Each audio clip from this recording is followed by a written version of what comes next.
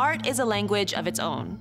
Artists have to figure out how to take what's in their head or what they experience in the world and express it in a visual language. Sometimes that doesn't make it easier for us, the audience, to understand. That's why I'm here. Today we're looking at artists who aren't painting a landscape or taking a photograph. They're processing everything from cultural experience to artificial intelligence and even grieving loved ones. With every generation, there's this opportunity for evolution while still retaining authenticity. The AI used three-dimensional scans of all the hand imprints to understand what we do when we grasp a piece of clay. Our mortality is always kind of behind our shoulder. It's always following us, no matter what. I'm Amanda Parris, and this is CBC Arts Exhibitionists.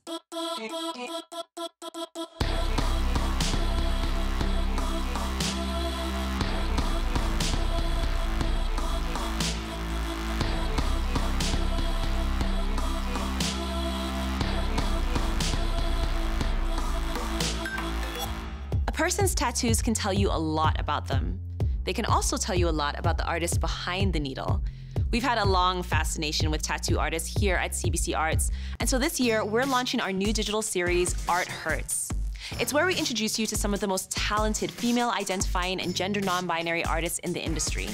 Today you'll meet Ilona Fiddy, who has translated her cultural heritage into art that people wear with pride.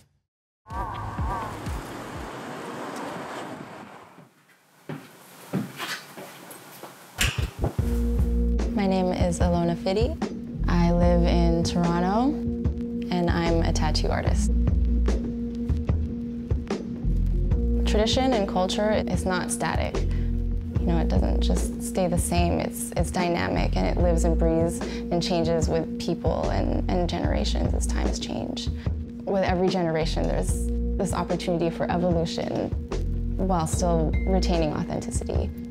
I'm a tattoo artist because I want to refer to these principles that are at the heart of our traditions.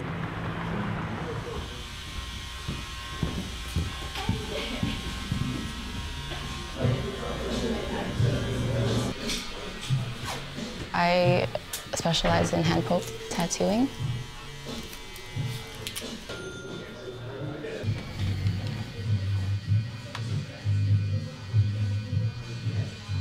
My tattoo work is mostly black and white, mostly illustrative uh, and graphic. It's very influenced by, you know, the culture and the music that I absorbed growing up. Some of it is, you know, very playful and some of it's kind of conceptual and weird and some of it is very spiritual and, and cultural and that part I take very seriously. Yeah, almost there. My interest in Filipino ancestral tattooing grew uh, from research for other mediums, like cultural or like diasporic-centered artwork. All my past work, like illustration, graphic design, installation art, all of it is very influential in my work now. This is just sort of like playing around with some things, I guess, like before I started to make like an overall piece of like starting to identify, I guess, the details that I like and that I wanted to like take from my influences and put them into into tattooing. I'm half Filipino and half English. Both of my parents are very conservative, like regardless of where you know they're from. So they they're both like were against like us getting tattoos.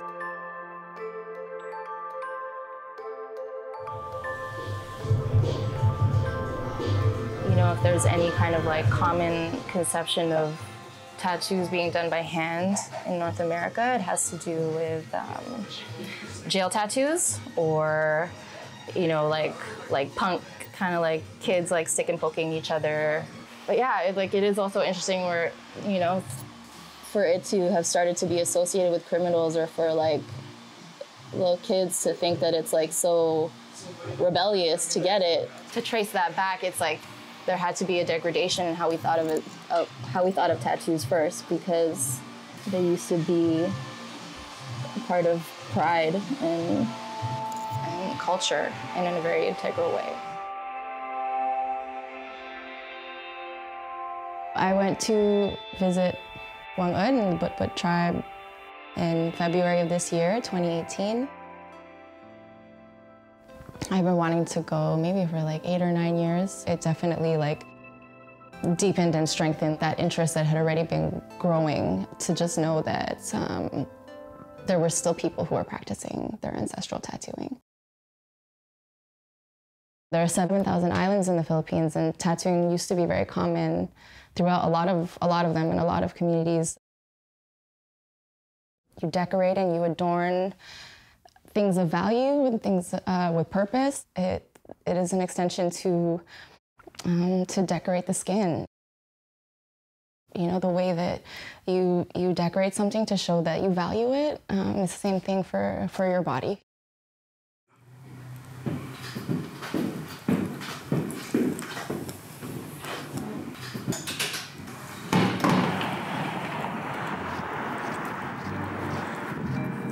I grew up with people from all over the world, and that was just like my norm. Like that was normal I understand more and more how lucky I was to grow up with so much like Filipino friends and family that I avoided a lot of um, cultural shame that's a distinct and recurring storyline for you know for people. It is important that Filipino culture has more representation and is respected and recognized for what it is because it is so beautiful. And I, you know, part of what I'm doing right now, it's to just reclaim that pride, to reclaim like a pride that we always had to question or aspire to something else to be accepted or to be good enough.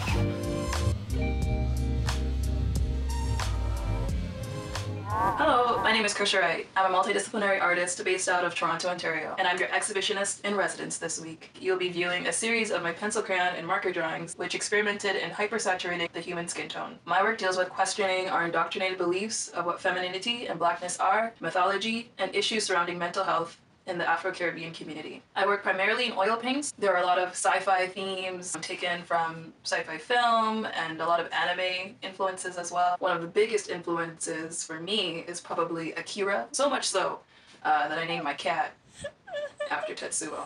What are you doing?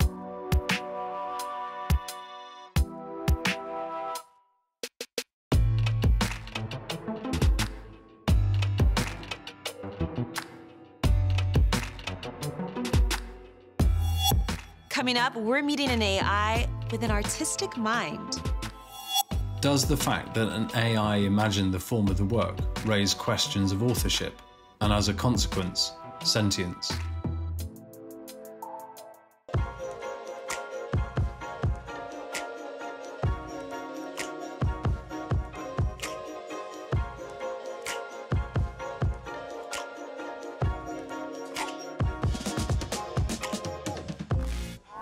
Recently, an artist named Jeff Koons got in some trouble. He got charged with using an idea from an ad campaign from the 1980s to create his own sculpture called Fait d'Hiver. And whether you care about Jeff Koons or not, it brings up a contentious term we hear a lot about appropriation. I'm Professor Lees, not really a professor, and this is Art 101, not really a class. We're here to go on a deep dive of an idea, an artwork, or a story from the art world that's controversial, inexplicable, or just plain weird. Appropriation is a word that's been part of the conversation for a while, often in the context of cultural appropriation. But we're going to concentrate on the word appropriation itself. Is it bad, good, somewhere in the middle? And what does it actually mean? To appropriate something means to make or make use of without authority or right. And it's also a confusing topic because it's about stealing and ownership and originality. In music, you might think of appropriation as an act of respect. Sampling, remixes, old songs used to play a role in new ones, and that doesn't always go over well either. in visual art, it's been a tool, sometimes for good, sometimes for very critical reasons. Remember the picture of Barack Obama that filled hearts with optimism back in the days when we had optimism? That image of Obama came from a photograph by Mannie Garcia. A street artist named Shepard Fairey took it, made it into a pop art looking pencil sketch, and put the word hope under it, and according to some, created an image that helped Obama win the election. Was it borrowing, theft, or paying respect? Appropriation has been a powerful tool for artists to shock our system. Canadian artist collective General Idea looked at the famous sculpture Love by Robert Indiana from the 1960s and turned it into their painting AIDS in 1987, an artwork that makes a visceral statement about love, fear, and the AIDS epidemic. Banksy has appropriated images from the news and from popular culture to talk about poverty, injustice, and the art world itself. Remember that Banksy piece that shredded itself at an auction a little while ago? That was an image he's appropriated from himself. It used to be called Balloon Girl, now it's called Love is in the Bin. And here's maybe the most powerful example from recent memory Childish Gambino's This Is America video. Donald Glover's poses go straight back to racist images of Jim Crow. He took on a despicable vision of a minstrel to enact a scathing critique of America in 2018. So, is appropriation a critical tool or a power move to steal somebody else's idea, culture, or artwork? Maybe it's both. It's still a confusing issue. It's still about theft, ownership, and originality. It's also been a powerful way for artists to make us think twice about things, provoke a critical point of view, maybe make us see things in a new way for a new future. Here's the Mona Lisa with a mustache, because appropriation. Matt Chivers is a British artist who's really interested in the things that drive our thoughts and our actions. So in this video, he takes us through different ways we might experience the world through three different media. The first, through drawing, the second through artificial intelligence, the thing that'll kill us all, and the third through video. Take a look at this first person account of an artist translating what's in his head into our world. Migrations is the title of an exhibition presenting three related artworks a sculptural installation, a two part drawing, and a video work. The pair of drawings of a swallow one made using my left hand, the other using my right. The swallow is a widespread bird species. Its annual passage between the northern and southern hemisphere was, and still is, a thing of wonder, leading to its association with the idea of transition between states of being. In a tradition dating back hundreds of years, before embarking on a voyage from which there was no certain return, mariners would be tattooed with a swallow on one side of their chest. On their return, another was tattooed on the opposite side. The drawings articulate the correspondence between the northern and southern hemispheres of the Earth, the left and right hemispheres of the brain, and the action of thinking out through the body and into the world through engagement with materiality.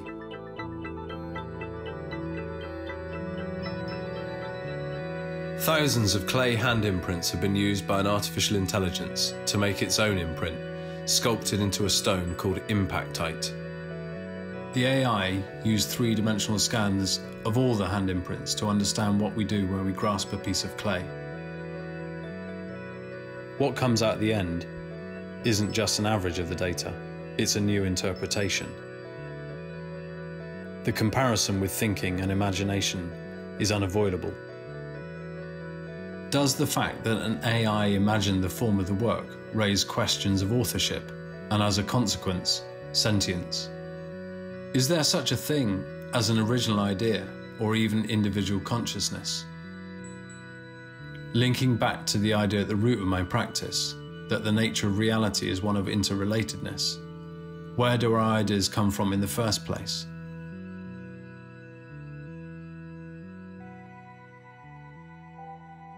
Data powers machine learning. The more data, the better. Information is fed into a program designed to complete a certain task. The program analyzes the data, learning from it to complete the job it's been given.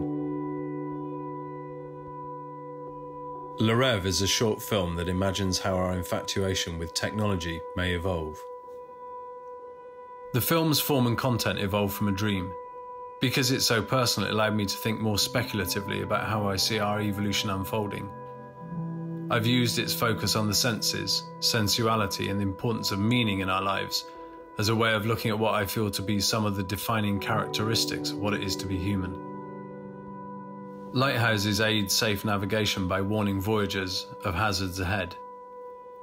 They're reminders that we should proceed with full attention.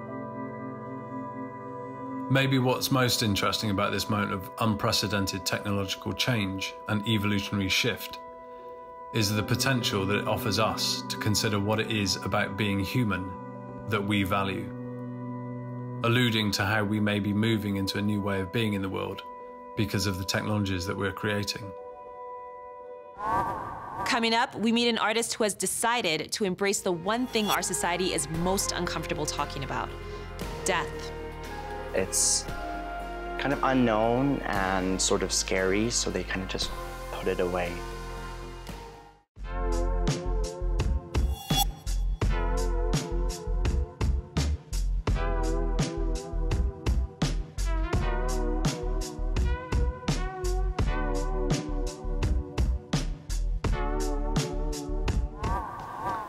So this is me and my dad here when I was a babe.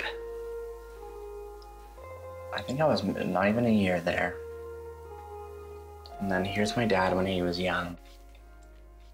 Love this picture of him so much. He looks so happy. Love it. And this is my mom and dad. My dad being a goofball, singing to my mom. And then this was the last picture of me and my mom when she was at my graduation. My name is Zeph Mitchell, and I am a collage artist.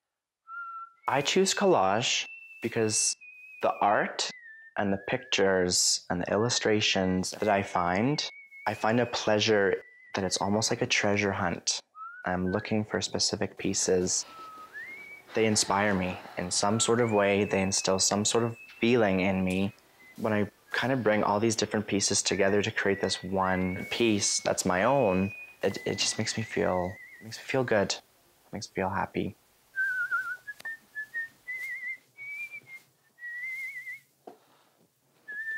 I actually use a lot of um, vintage piano sheet music as well in my art. So I always come here for that as well, and they always stack them all together. I recognize a lot of them. Um, my mom would hum, whistle, or, or sing some of these songs, so I recognize a lot of them. Same with my dad. These are a, few of my originals, um, pieces that I've bought from the Blue Jar Antique Mall I've used in my art. Um, they've actually let me bring it here and, and sell it here now, which is so, so cool. This piece here um, was an old piece of piano sheet music. The, one of the lyrics in this is, wherever you go, whatever you do, I want you to know I'm following you. And it's kind of symbolic of just that our mortality is always kind of behind our shoulder. It's always following us no matter what. It's just a step away. I do have a lot of death um, imagery in my art um, because I have had a lot of loss in my life. I was 25 years old when my mom died. And the next day, it was my 26th birthday. And on that day, I was, was when I became an orphan. My mom, dad, and both of my brothers had passed. So it was a lot of loss in like uh, five year range. I lost my entire family, and I, you can't even put into words how I felt or how I was supposed to feel or how, what I was feeling at the time because it was just so much. When I get a magazine and I open it, of nostalgia just fills my room of just old, vintage. It makes me think of my mom and dad and my brothers. My mom and I would go to the Wee Book Inn when I was younger, and just the smell of old books reminds me of my mom. And I just remember that smell, and when I'm flipping through those magazines, it just it's something that's comforting to me.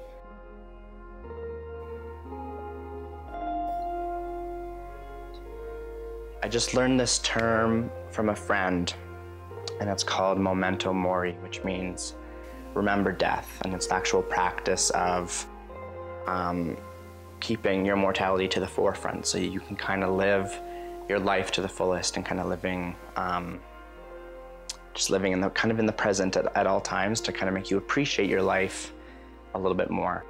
Our society views death as something that's taboo.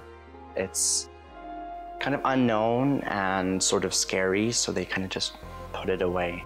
I've kind of just I've realized that death is something that people need to talk about and to kind of become more comfortable with, to kind of almost like walk hand in hand with it, because it's going to happen to all of us. And so that's one of the main reasons why I put it into my art, is to kind of almost create that discussion, um, to have that imagery. It has made me appreciate the people and the things and myself so much more. Just to not take anything for granted. Nothing. To not take living for granted. I think my mom and dad would be very proud. I wish that they could be here to see what I've created. They might think it's a little bit bizarre and weird, but it's me, and I know they would be very proud. Recently, Zeph has started the journey of becoming a death doula, someone who provides support and assistance to help people cope with the process of dying. It's so moving how he's translating this intense experience of grief into both art and service to other people. I'm really inspired by the artist that we got to meet this episode because it's not easy to translate your experience into something other people can see and understand. If there's an artist you think should be on CBC Arts Exhibitionist, please let me know. Send me a message on social media. Our handle on all platforms is at CBC Arts. Tune in next week for another deep dive into the transformative work of Canadian artists. Peace.